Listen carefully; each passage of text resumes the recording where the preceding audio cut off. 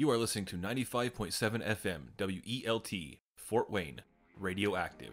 The opinions and views expressed in this show are that of the hosts and guests only. They do not represent those of Free Thought Fort Wayne, Secular Fort Wayne, WELT, or any other organization. How can I live in society if I don't believe in God? How can I understand the world around me without religion? What can I do to make the world a better place? Where did we come from? How can I be a moral person? These are just some of the profound questions we as humans have pondered for millennia. Join us as we ponder these questions free from the ideologies of religion and superstition. Welcome to the Hoosier Humanist Hour, where we explore science, religion, culture, ethics, and community from the humanist perspective.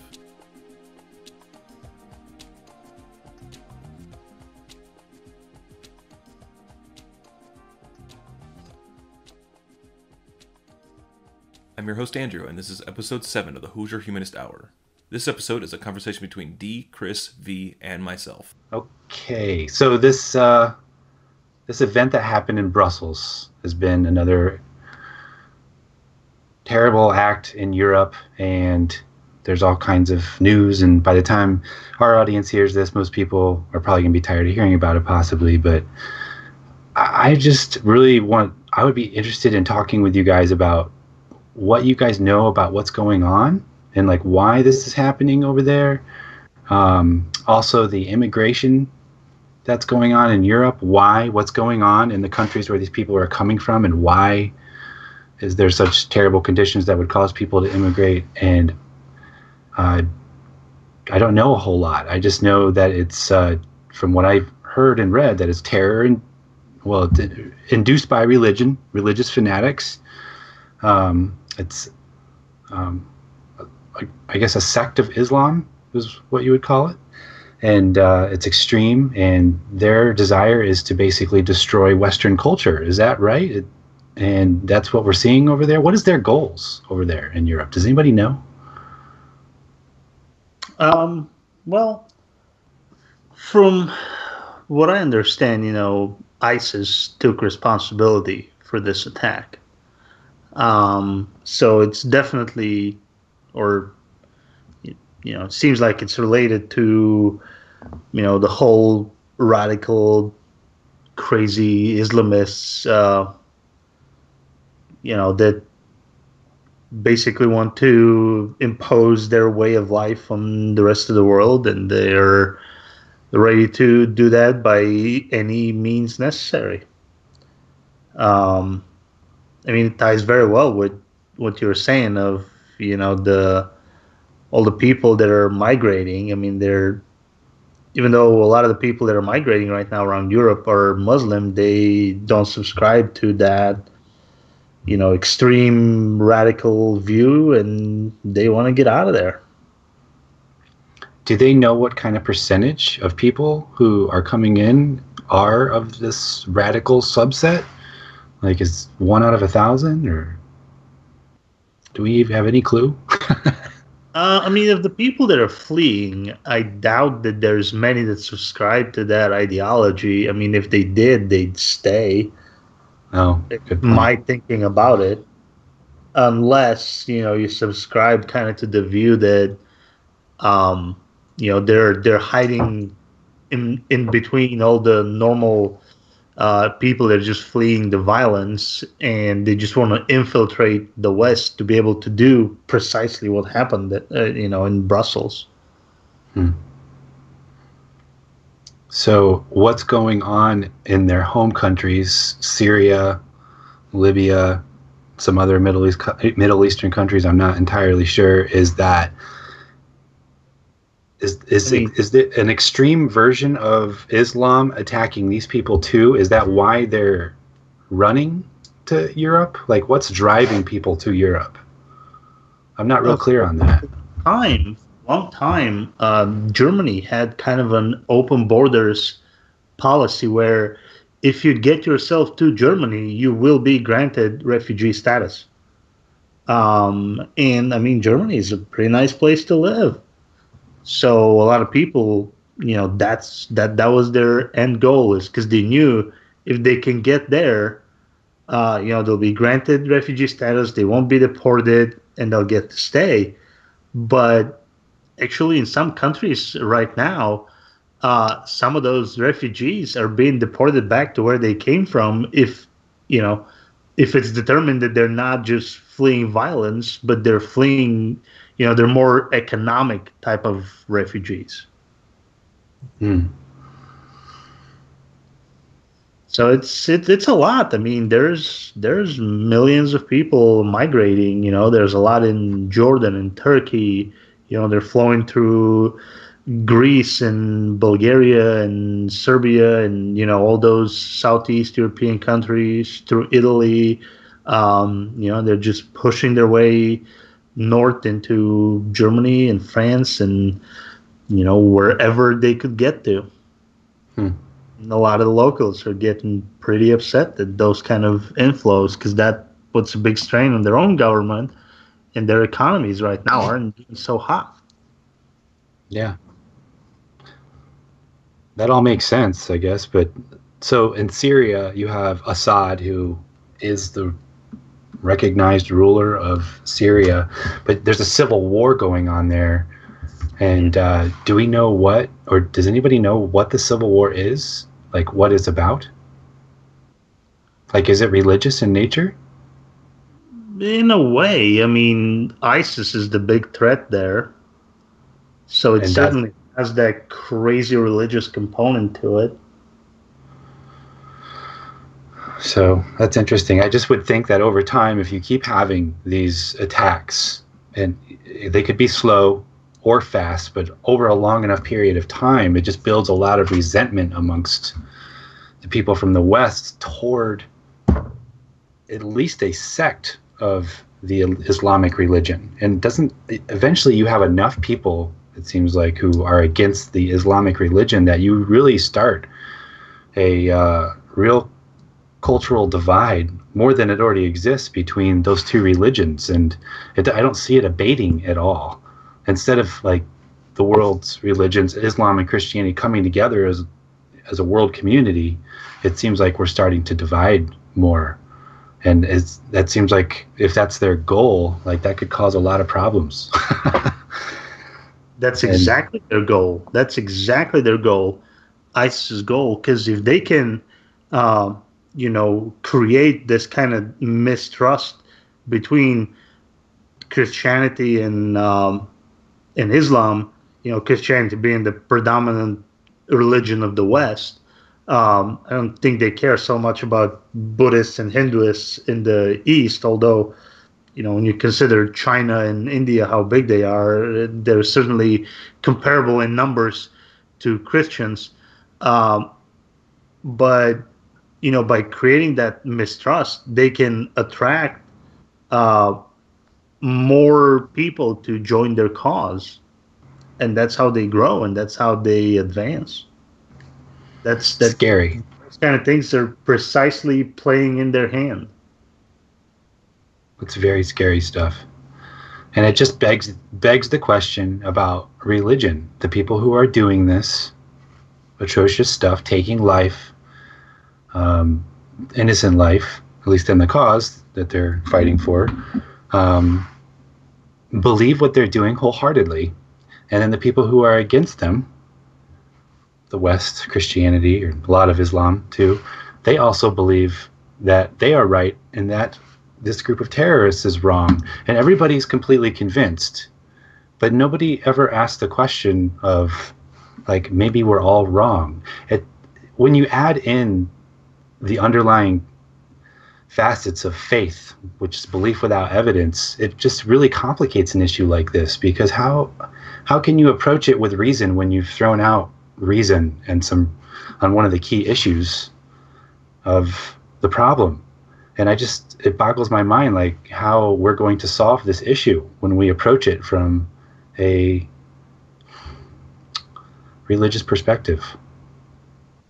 I mean, yeah, certainly religion helps there, um, or hurts rather. I don't know how you want to phrase it, but um, it's it's certainly more difficult to get a non-believer to put on a suicide vest. You know, I, I Sure.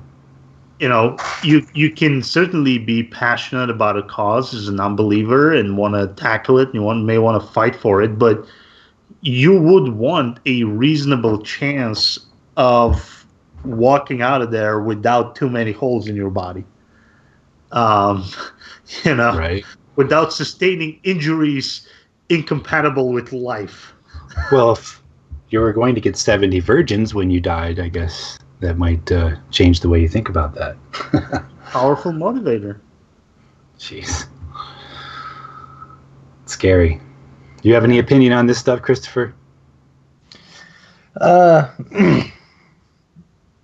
I don't know. I I guess my problem is that when it comes to situations like this and and talking about refugees, I would never and could never be a refugee, um, because I, I I have this stubbornness uh, in my bones that says that if something is messed up and going on in my community, I'm going to take up arms and neutralize the threat, or at least fight against it as much as possible. So it's it's difficult for me to see the human race be so prone to moving away from a threat as opposed to standing and fighting against a threat.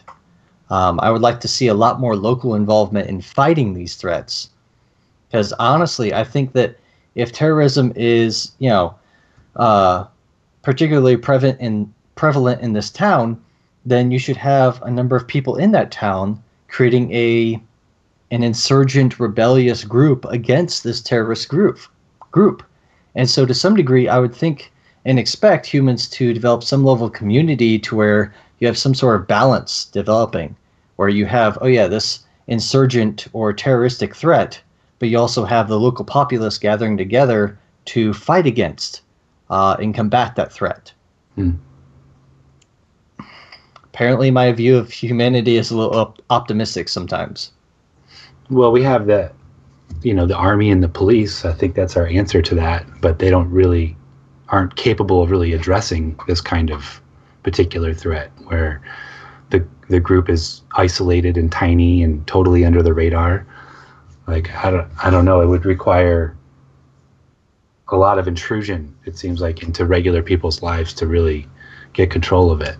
I, I think part of it really honestly comes down to the willingness of the populace to participate in this process. You know, too Hmm. many people are, are, are too apt to just say, oh, well, you know, I, I see uh, somebody with an AK 47 across my street. Um, I'm not going to report that because clearly they're not bothering me right now, so I'm just going to let it go. Uh, and I see that as a problem because people don't think about the future. Later on down the line, guess what? That one person that you saw that that one person down the street could have been the mastermind behind this whole thing. So why why can't we uh, have them report to authorities with some sort of reward system in place to where you know their their their courage and their bravery is encouraged or rewarded. Um, I, I would like to see that. I would love to see that kind of uh, participation by the public in these types of things. They would start calling that idea, at least in this area of the country, as like you'd be the Stasi or uh, the secret police, or Russia had all kinds of informants all over the place. Right, but here in the U.S. we have Crime Stoppers, right? So Yeah. you anonymously report that you've seen this known criminal, and you get a reward for it. Yeah, They, they, they should have systems like that in place. that makes sense. Yeah, I hope we don't have to have like a terrorist hotline that we have to tell like, Yeah, everybody exactly. about. That would stink. that means we'd be really losing the battle if we had that. But So Okay. one interesting. I- I'm gonna jump in here for a second. yes, go, Um, go, go. Oh, one interesting thing that that I heard from uh, a certain someone that has a PhD in religious studies and has studied the region uh, for a long time is that um, the, the ISIS group, in particular, at the top, the people aren't that religious, but they're twisting the religion to get followers and to, you know, to be able to establish their political goals um, and you know they're just they're just using the religion is a tool to achieve their you know their own personal megalomaniacal goals basically Now, You're hold saying- on. Hold Was on. that, was that Aslan? Yeah. no no like, no Come on. totally No. totally different person I, hey i'm not saying that i buy the argument that's that's what some people would argue But the religion kind of itself does say these things. Like the Quran Yes. says these things. It says kill all non-believers and heretics. As Oh. does the Bible. exactly. Actually, funny enough. But Aren't they the same book up until about halfway through? Hmm. And side note, um, yeah, Well, to just give you an example um, of exactly what Andrew was just saying, um, you know, my people were enslaved by the Ottoman Empire for hundreds of years, and there were specific words that were used for non-believers that kind of made you as something less than human, basically. Mm. And there were forced conversions of the you know of the Christian population. Um, you know, there were there are certain movies that are actually a fairly good representations of what was happening, where they would, uh, you know, the army would basically come roll into a village, and they'd gather everyone in the you know village square or just outside on some you know lawn or something.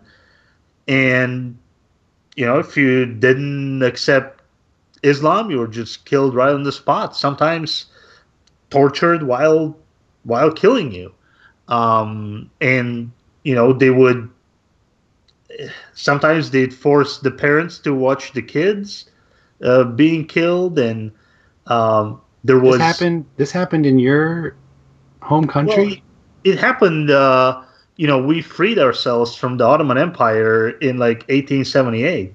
and the Ottoman Empire was a primarily Islamic regime. It's it's modern day Turkey. It's modern Okay.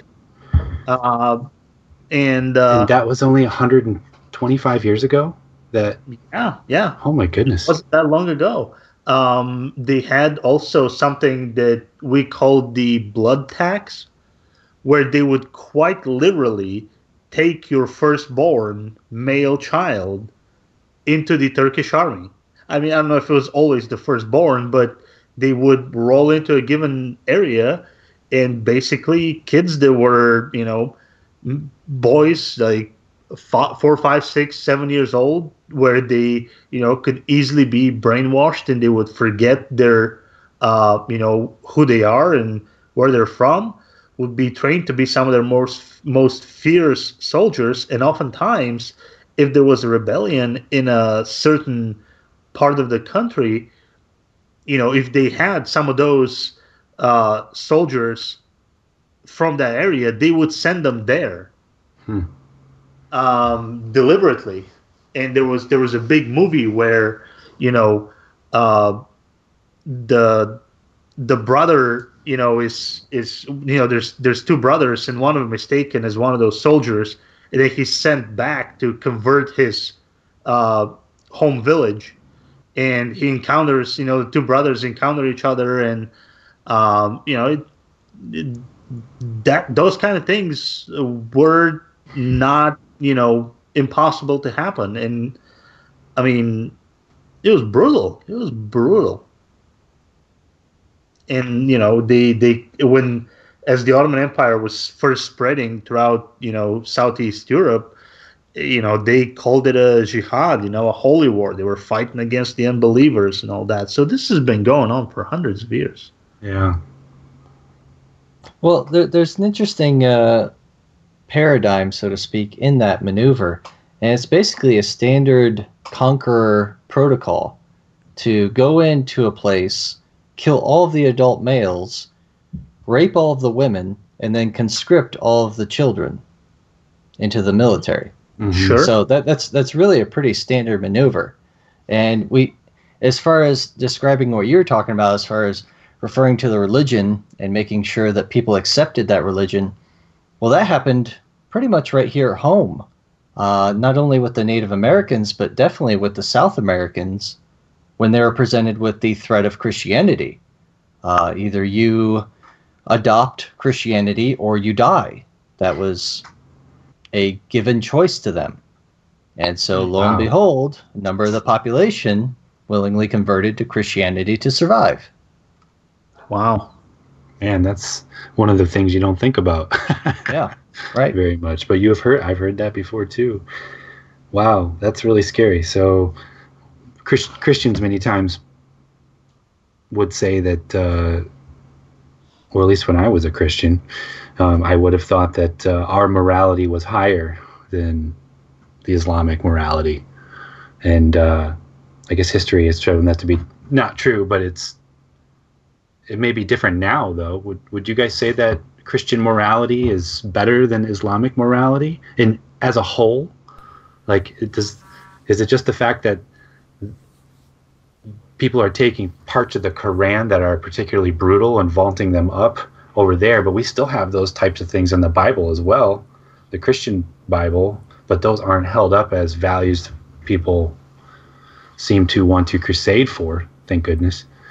Also, But uh, what, what, Yeah. go along with that, uh, the difference, the, I, the, one of the main differences I see between Christianity and and Islam is the fact that the way it's taught, because in Christianity, for the most part, it's just kind of loosely there and interpreted through preachers and everything like that.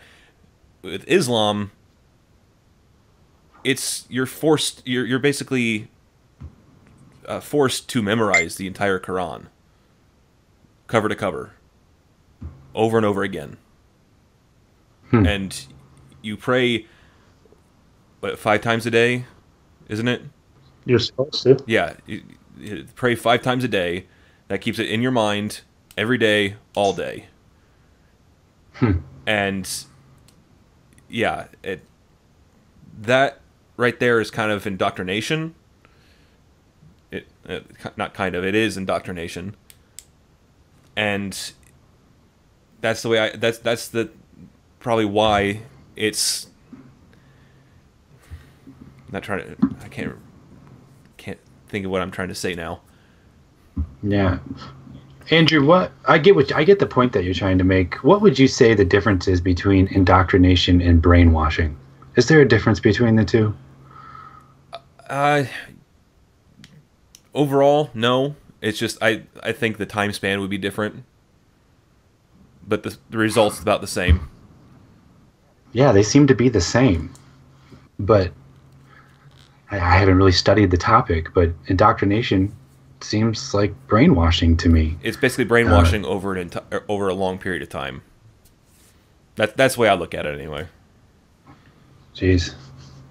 And that's that's actually an, a very good point to bring up. Just because I, being an educator, I like to bring up the difference between indoctrination or brainwashing and education. Hmm. Those are two different things entirely, and sometimes people forget that the methods behind indoctrinate, indoctrination and brainwashing are basically talking about inserting certain ideas into people's heads that may not necessarily be based on facts, which is why you have education, which tends to be based on facts.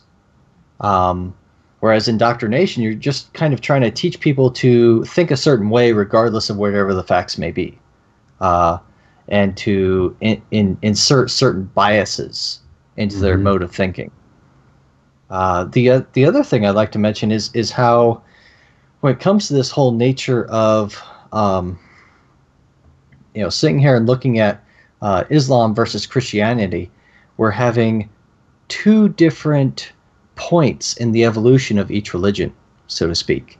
So Christianity has come so far uh, as to start reaching the point where oh they can start being more loose in their teachings because they've already dominated a significant part of the globe uh, as far as religion.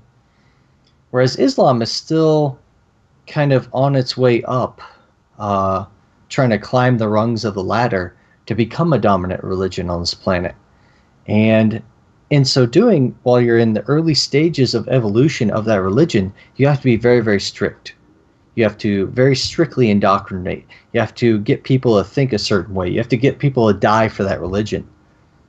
So they're basically at the level of the Crusades that Christianity was several hundred years ago. And that's why Christianity gets to play the, the higher card in being the less violent religion right now because they've already gone through their violent stage. All right. Mm. They're now calming down. Uh, and so they get to sit back and be like, oh, well, what's wrong with you Islamic guys? Because right. now you're being all violent and stuff. And we've never been that way, clearly. So uh, we get to sit back and make fun of you for being violent. yeah, yeah, it's very true. I mean, you know, Christianity has had Reformation movements. You know, there's been the whole Enlightenment period. Um, you know, the the secular world and secular philosophies and science has been pulling the the Western world and Christianity along with it, kicking and screaming for hundreds of years now. Um, and you know, we're we're to a point where um, you know the the people of uh, of the Western world.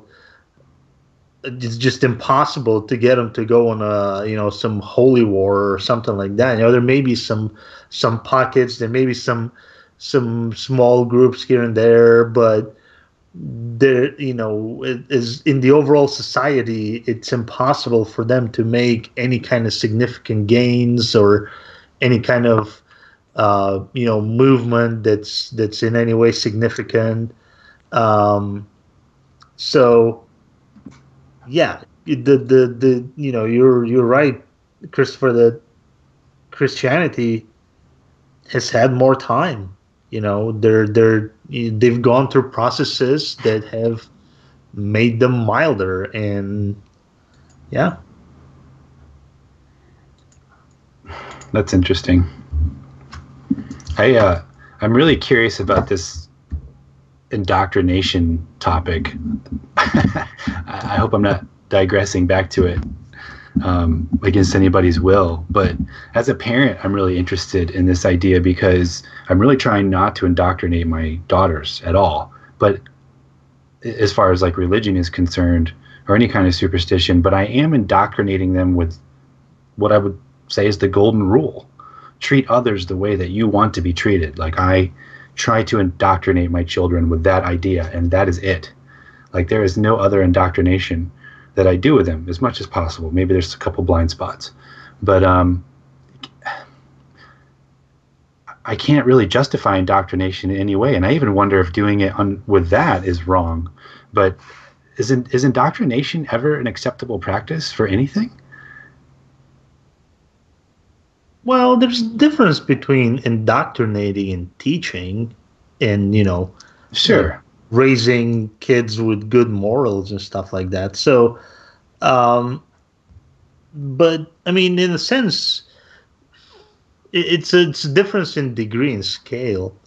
Um, you know, if if you're raising free thinkers and you teach them to think for themselves to you know make up their own mind to investigate how the world works and you know all these all these things that that we believe in as uh, humanists and free thinkers. Um, I, I don't know if if that necessarily qualifies as indoctrination. Um, i mean how can you you know, is it indoctrination if you're trying to teach someone to think for themselves? You know, indoctrination to me would be it has to have an element of you know of dogma of here is a set of rules that yes. that we have or here's a set of beliefs or, or whatever that we have and you must follow these or else you know to me that's indoctrination where if you're thinking if you're if you're teaching someone to to think for themselves, to to do all these other you know things that we do as free thinkers. I, I just don't know if you can really make the argument that that's indoctrination. I think that's a really good point. Like I just I indoctrination to me is believing something without evidence, really, more or less, and trying to get somebody to do the same thing uh, for reasons outside of evidence, like be a part of the group or everybody does it or um, all the arguments for, also, for faith. You know, it when when it's indoctrination, it's not subject to change. True, but some indoctrination could be good. Some indoctrination could be good, even though there may not be evidence necessarily for it. So, sure.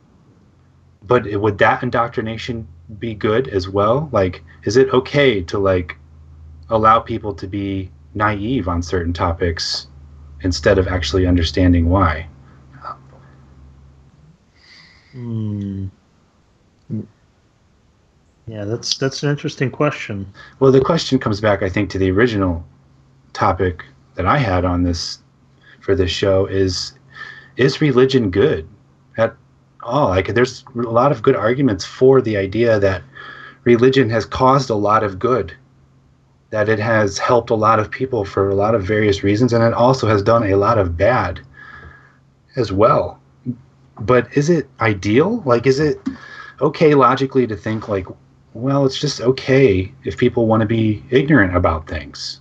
Not that you can change them necessarily. I'm not advocating like saying that they can't be that way, but it just doesn't seem like an acceptable way to live your life in society to me. Yeah. So so I'll share two of my favorite quotes on this manner. Um, uh, I think it was uh, maybe it was Weinberg that that said this one. Um, you know, good people will do good things. Bad people will do bad things. The only way to make a good person do something bad is religion. Um, and now I can't think of the second quote that I was going to have, but you know, that's that's certainly there. Um, you know, religion certainly affects the way we behave. In oh, uh, the other one was actually, I think, a, a challenge from Christopher Hitchens. You know, name me a moral action or a statement that can be done only or made only by a person of faith and not by someone that lacks religion. You know, that there's there's nothing that you know a religious person can do that's good that a secular person couldn't do or say. But the opposite is very easy. You know, it wouldn't take five minutes for anyone of us or the listeners to come up with the reverse, where you know, name me uh, an immoral action that can only be performed by a religious person. uh, You know, Right. um, so, yeah, certainly religion has, you know, maybe pushed some people to be good and to do better, but I don't know. I, I, I, give people more credit than to think that, um, you know, if you weren't forced into it and strong armed into it by religion, that you would all of a sudden become this giant, uh, you know, you know, I, I don't think you'd become uh, a bad person overnight if you lost your faith. That you would stop donating to the Cancer Society if that's what you were doing previously, or that you know you would stop volunteering with for the homeless or underprivileged kids, you know, or some whatever you were doing on a regular basis. I give you more credit than to think that you know every morning you wake up and you're like oh if i don't do this you know the uh, my god will punish me you know it says that i should do this in the book therefore i must you know wake up at 6 a.m and go and do it i i don't think that anybody really thinks in that way or if you do that'd be very sad I did. Not, really Not in extreme ways. yeah not in extreme ways, but I did. You know, one of the one of the people who really changed my life, one of the authors that changed my life, and I, knowing you guys, you, some of you guys at least, I think you'll get a kick out of it, is Ayn Rand. oh wow I know. Um, she, in her ideas basically convinced me that that kind of ideology, like sacrificing just because somebody something says you should do it, but there's no return, like the idea of sacrifice for nothing, Mhm. like was really a powerful idea that I entertained for quite a while, and really was a big step of, for me out of religion because I felt like I had been doing that. I had just been doing all this stuff with for no return just because I was told Was she to do religious? it. No, no, she was an No. atheist. I think a lot of her ideas are extreme in a lot of ways, but Oh, sure. uh, your, what you were talking about, I can definitely relate to. Yeah, I was just I was just curious, uh, you know, how religious uh, she was or wasn't. Yeah, she was a staunch atheist, I believe. Um, when, we have when we have all this stuff going on in Europe, that you know, eh, the pushback against it is not toward Islam; it's toward extreme extremism, extremists. Yeah, But yeah, to me, that does that seems like you're just plucking out a little root of the problem. To me, the problem is religion. I, I, I think I think going back to one of your earlier concerns as far as indoctrination, I think really how we gauge indoctrination is how many walls and how big those walls are as far as the walls that we put into other people's brains. Right? So Hmm. when we're talking about em- trying to embrace science and technology and facts, we're talking about putting up one wall. And that one wall is the scientific method. And that's it Mm. beyond that, you have religions that say, oh, well, there's this wall to where uh, there's a God. There's this wall to say that there are miracles. There's this wall to say that your religion is the right one. There's this wall to say that everyone else is an enemy or needs to be saved. There's this wall to say, oh, you get 72 virgins upon death. There's this other wall that says, oh, gays are evil. They will die. So you need to try to convert them to being straight and to being your religion uh, in order to save them. I see all these walls coming up and being kind of one of the metrics that we can use to gauge uh, the the level of indoctrination, so to speak, that you're doing in some of these religions or in these belief systems to kind of put in that bias to shrink your audience as much as possible and basically vilify the entirety of the rest of the world. I know Yeah, growing up. religions Sorry, do- go for it. Oh, I was going to say religions certainly do that. They vilify the rest of the world and and they make it tough to leave. You know, in uh, you know places where you know you have more uh, hardcore. You know, and again, I'll use Islam. Um, you know, where they practice. Uh, you know, more strict Sharia and and all these things. I mean, you're risking your life if you want to leave the religion. Hmm. I- And I just to go, oh, sorry, go ahead. No, go ahead. Go ahead. Okay, I, I was just going to say, uh, uh, just to go back along your line of quoting people, uh, there's actually this man that, that I've gotten to meet uh, in person. I actually gave E.O. Wilson uh, a tour around the snake facility while I was getting my master's out in Colorado. And uh, he actually has this nice little quote here about religious faith is dragging us down.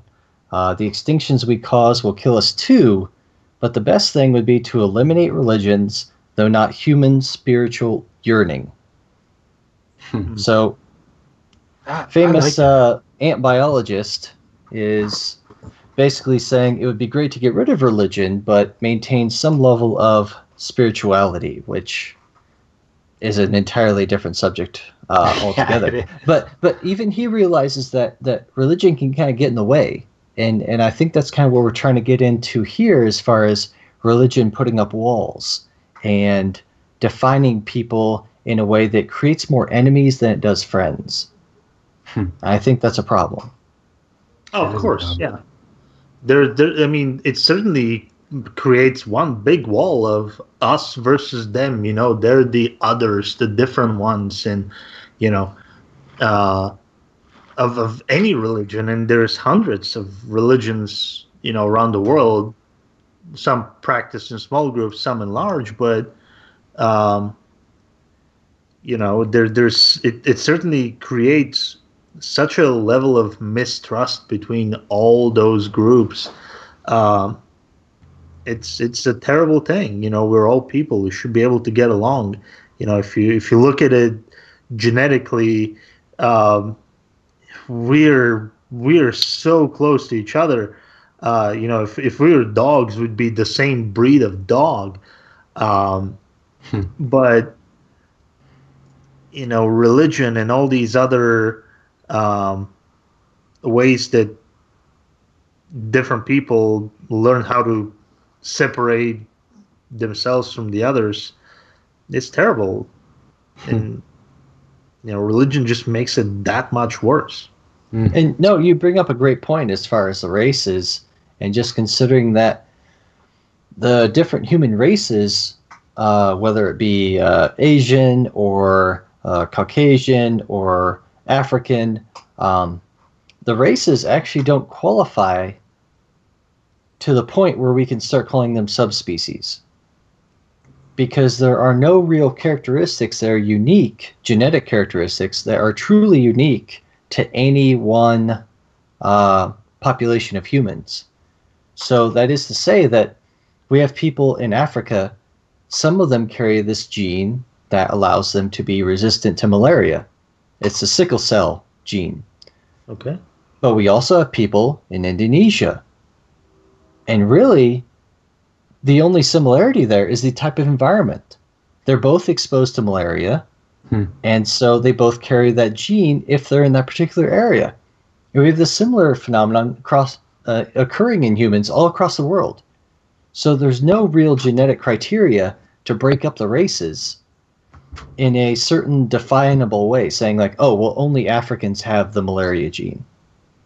That's not true any human living in an area where there's malaria will develop an increased frequency in the malaria resistant genes. And that's that's yeah, that's that's just how the human race has worked. And that's so that's why we consider everybody to be part of one race, one subspecies of humans, which is Homo sapiens sapiens. Because we're not different enough to be considered different subspecies there are actually more variability. There is actually more variability within any particular race than there is between the races. Because it's hmm. actually the environment that dictates our genes. It's interesting. But yeah, we want to find ways to make each other into other species, or at least feel like somebody that you dislike or are totally different from is another species of human almost and uh, we do that with, a lot with color. Obviously, you got a long history of color being one of the main reasons for that, and region of the world potentially, and then religions. Religions are a huge part of that. I think you're absolutely right, V. Like religion is maybe the most extreme way that we do that. Possibly divide ourselves.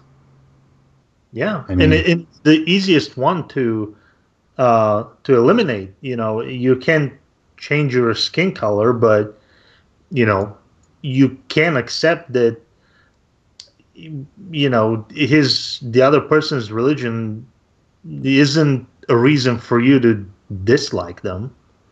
I mean, not that skin color is, but um, you know, it's. Hmm. It, it's on the one end easy, you know, when you look at it from from the free thinker humanist perspective, but from the religious perspective, it's very difficult because you know all the Abrahamic religions have these um, you know uh, dogmas in there that uh, you know make you hate the other group. You know, oh they're they're the infidels or they're uh, you know they don't believe as me. This is blasphemy. You know. Um, all these reasons that you have to hate the others, even if they believe 90 some percent of what you believe you know well, a few misunderstandings are enough for protestants and catholics to just hate each other and to wage wars on each other Well, there seems to be a pretty large continuum on that. You have obviously the killing of people that you disagree with, but I, at least the, the church that I grew up in, we thought everybody else was wrong. Like, we knew that some people had some things right, but we really reserved the title of authentic truth. And I don't know how across the board that is with religion, but I mean, most people choose a particular sect in a religion, a particular denomination, and stick with that. Do they stick with it just because they're comfortable with it, or do they? Most people believe that they have, you know, the edge on truth. I, I mean, I don't know the answer to that, but I, from my experience and to the people that I've talked to, it seems like people believe they have the edge on truth, like that they are living their life more righteously than other people. Not that I, they, I think I think it's definitely a mix of the two. Um, definitely having some sort of community and belonging to something will contribute to that. But yeah, it's it's driven by the fact that oh, oh, we think we are the best group of people. We think we have the facts. We think we are the way. So you should join us because then you'll be a member of the righteous, uh, awesome, high up people. Uh, and that's that's a, a, line of thinking that kind of pre- it was at least um, prevalent in this part of the state because we've actually had a number of grand wizards of uh, the KKK here in this part of the state. Um, and so when you start thinking about that, you're like, oh, well, that's that's great. We used to be a, a fortress for uh, some of these leading members of a bunch of white people that would use Christianity as a weapon against black people or gay people um, and use it as some sort of platform to say, hey, unless you're white and straight, uh, you really don't even deserve to live. Uh, so we'll go out and lynch you, hang you, burn you, uh, whatever. And that's just to purify the rest of the world of all this non white, non straight kind of populace. I used to believe that stuff. For the ex Christians, um, did you guys think that people of other Christian denominations could or will go to heaven? Uh, yes, I, I well, I did, yes, but I didn't feel um, I didn't feel like those other people could claim the promises of God the same way, or we were God's chosen people, or I'm, I'm making quote symbols up in the air that you guys uh, can't see right now. I, I, can hear those. I can. You hear can hear the quotes. no, I definitely thought I was superior, and I thought that gay people didn't deserve to live. I'm ashamed to think that I thought that. I didn't think that. I never would have gone out and killed anybody. Of but my God, I cannot believe the stuff that I believed. And, you know, growing up, and we were kind of an extreme version of Christianity. I would call it a cult for sure, but we would be accused of being a cult and that we were brainwashed. And I could never understand brainwashed because I always thought brainwashed was some guy with a, you know, a, a pocket watch going back and forth, or they would put you in a room and you know oh. put uh, you know not let you sleep. Like, but that is not brainwashing. Brainwashing is just believing something or advocating the belief of something that has no evidence at all, and then making certain parts of so- social interaction dependent on whether or not they believe these things and then also all the internal stuff that you do to somebody going to hell or whatever and then a million other small variations of that. I just, I, uh, kind of losing my train of thought here, but well, it just see don't it need. Any more reasons to to be divided, you know, yeah, and yeah. to hate each other and to mistrust each other too, because you know it's it's not you know you don't have to hate the other people if you mistrust them um, you know, over time, that can build up into much more. Well, it's easy to be ashamed of like really bad brainwashing. Like I thought gay people shouldn't be able to shouldn't live because they were such a a down a downer for society or whatever. But I mean, it's easy to look in the mirror and think about yourself thinking that stuff and be absolutely ashamed of yourself. But there's a lot of things that are far more minute, but are the same type of thinking, uh, the same type of indoctrination or brainwashing that should be rooted out. And that is the cause of all of this, in my opinion, the cause of all of this terrorism stuff at its at its root. But yet we a lot of people who choose not to use evidence as their basis for fact are susceptible to that. They're totally susceptible to that. So in, in many ways it's like if you're not using reason to determine what is true or not true or that you don't know, then you're all just kind of buying into the same kind of religion.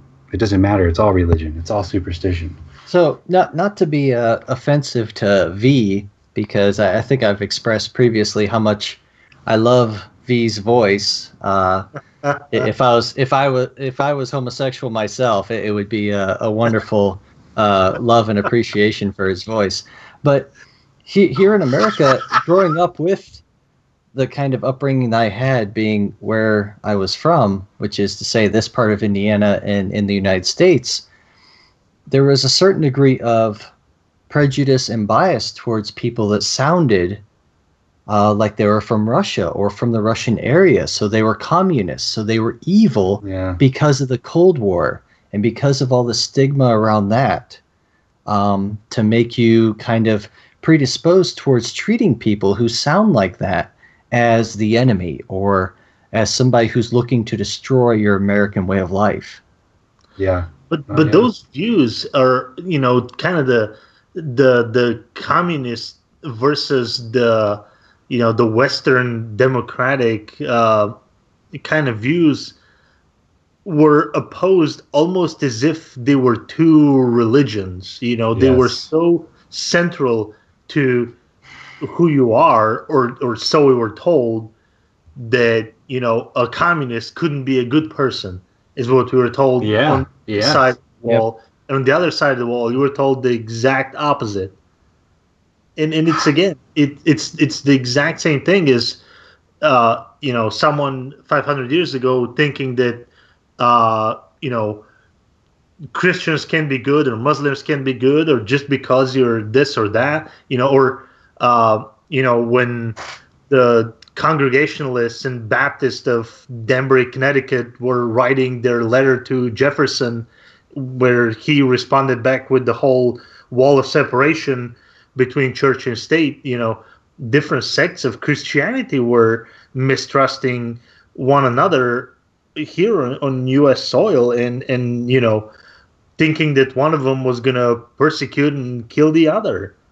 Yeah. Um, so these kind of you know, it, it all goes to these kind of dogmatic thinking where you know yeah. it's unchangeable. This is what it is, and you know this person in authority says this so it is true and um, it's so so counterproductive it seems to me like toler you know tolerance is not the answer to solving our problems i'm not saying intolerance is or shit is acceptable but it's education education yeah. and the removal of ignorance in all possible ways uh, that you can find is the way that we are going to come together and solve these problems.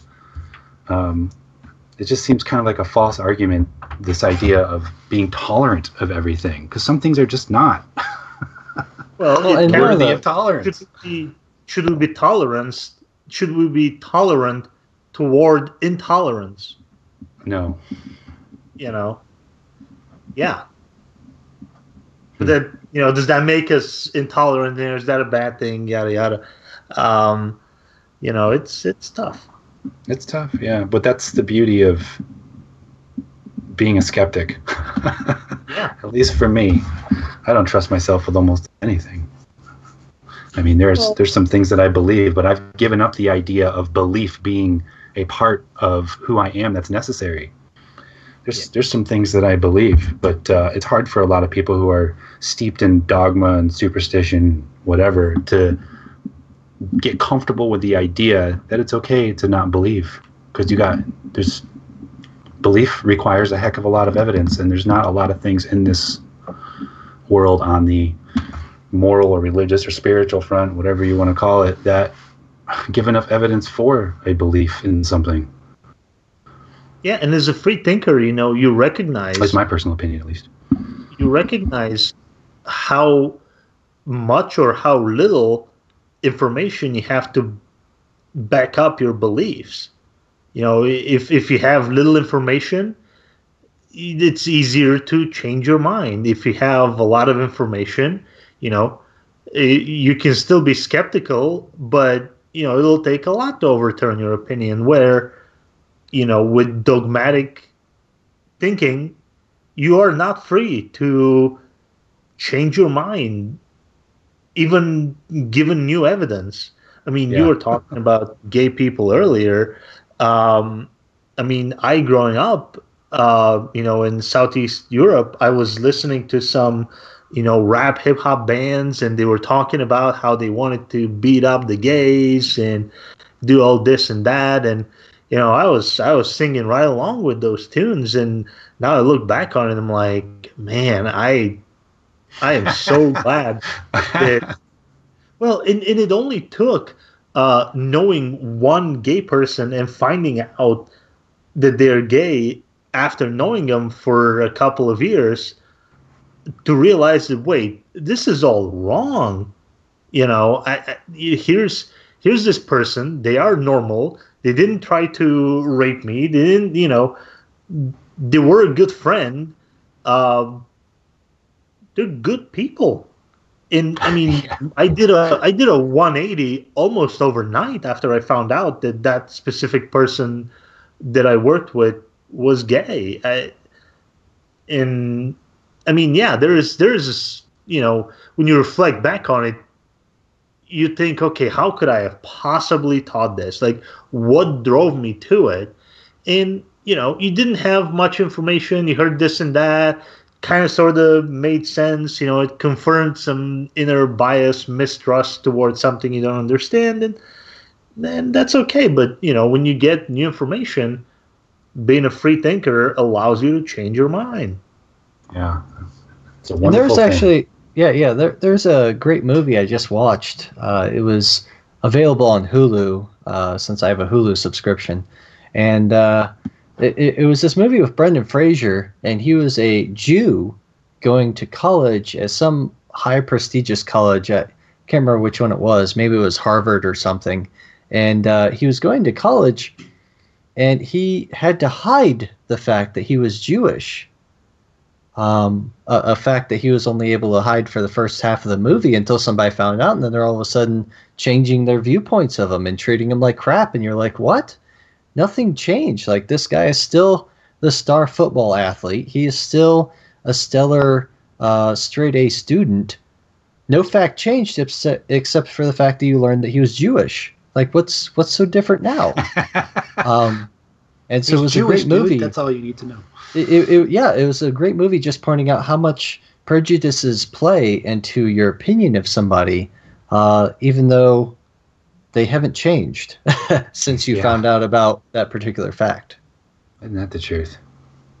Well, from what I understand, there was some, you know, Catholic dogma that didn't get erased by the Pope um, until like sometime in the middle of this of uh, you know the 1900s, like 1950, 60, something like that, that blamed the Jews for the death of Christ, and you know, so you know, it sowed all this hatred Mm. among Catholics towards Jews, and you know some people even you know credit to I don't know what extent you know that that viewpoint um, for you know what happened in the Holocaust. Yeah. Yeah. So now all Jews hold the burden of crucifying Jesus Christ. Yeah, yeah, they, they blamed them the Jews, and you know since there was hatred, it allowed the the Holocaust. That's kind of the one of the you know theories out there. Um, you know, don't know how much credibility we can give to it, but Yeah. Yeah, I've definitely heard that cited a number of times as far as uh, people having that stigma uh, to blame somebody for the death of Christ, despite the fact, if you really look at it, it seems counterintuitive, right? Because wasn't it the death of Christ that cleansed all of your sins? So why why are you griping about it? Like I, I don't understand that logic because normally it's Christians that are griping about it. So There's a lot of illogical things out there. That is all the time we have for you this week. This has been the Hoosier Humanist Hour. Be sure to check out Free Thought Fort Wayne on Facebook and Secular Fort Wayne on Meetup.com. Thank you for listening, and we hope your days are filled with logic, reasoning, and the eternal quest for knowledge.